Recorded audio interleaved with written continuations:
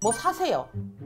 뭐, 뭘 사요? 아, 뭘 사요? 뭘? 뭐 사요. 땅이든 건물이든 뭘 사요. 사십시오. 사시고 남으면 저도 좀 주십시오. 안녕하세요. 태극신당입니다. 2020년도 하반기 양띠분들의 운세를 알아보겠습니다. 양띠 하면은 순해요. 안 순해요. 아 예. 아, 안 순해요.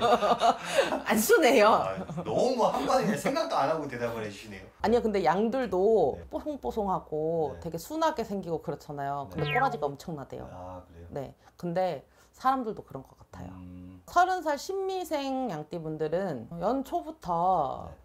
뭔가 본인들이 해결해 나가셔야 될 일들이 좀 있으셨어요. 음. 뭔가 내가 헤쳐나가지 못한 문제들에 대해서 아, 이걸 할까 말까 고민했던 부분들이 굉장히 많다고 나와요. 아, 네.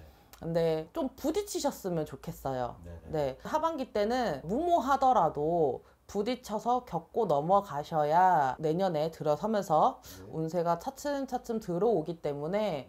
올해는 이 길인지 저 길인지 고민하지 마시고 한 가지 길로 빨리 정하셔서 부딪히시고 헤쳐나가셨으면 좋겠습니다. 네. 기본적으로 신미생 양띠분들 같은 경우에는 타고난 금전운은 좋다고 나와요. 네. 아, 머리도 되게 좋으시네요. 음. 음, 공부를 해서 성공하시는 분들이 좀 있으신 것 같아요. 신미생 양띠분들 같은 음, 경우에. 음, 그렇기 때문에 금전에 대해서는 크게 고민할 거는 없지만서도 네. 그래도 무모한 투자나 그런 거는 안 하시는 게 좋고요. 일단은 네. 투자라기보다도 뭔가 본인들의 직업적인 면이나 인간적인 면에서 이렇게 할까 저렇게 할까 갈래길에 대해서 네. 한쪽으로 빨리 결정을 하셔서 움직이셔야 네. 하반기 때는 본인들한테 더 도움이 된다고 생각해요.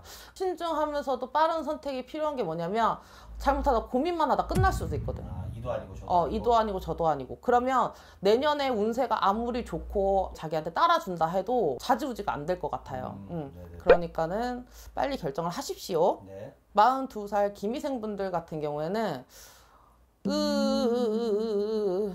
뭐가 아, 안, 아, 안 좋아요? 아 이런 거 얘기해도 돼요? 음... 부모님 쪽? 응, 부모님이나 그런 분이 네. 많이 아프실 것 같아요.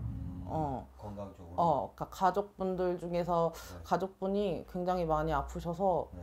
많이 안 좋아요. 네. 본인의 운이 안 좋은 것보다도 가족들. 음, 가족들 특히 부모님이 많이 아프신 상황이 되거나 네. 병원에 이렇게 누우시는 수 있는 상황이 생기실 것 같아요. 그래도 이렇게 미리 얘기를 해주시니까 미리 또 모시고 가실 수도 있잖아요. 그렇죠. 네. 미리 알고 가면 어쨌든 그렇죠, 그렇죠. 예방할 수 있으니까 그렇게 하시면 될 것 같습니다. 네. 네. 54살 정미생분들 같은 경우에는 아, 막 우울증 오는 것 같아. 음, 아, 내가 맨날 하는 말이 있는데요. 네. 요새 내가 제가 더웠다 추웠다 막 이래가지고 네. 갱년기인가 이러거든요.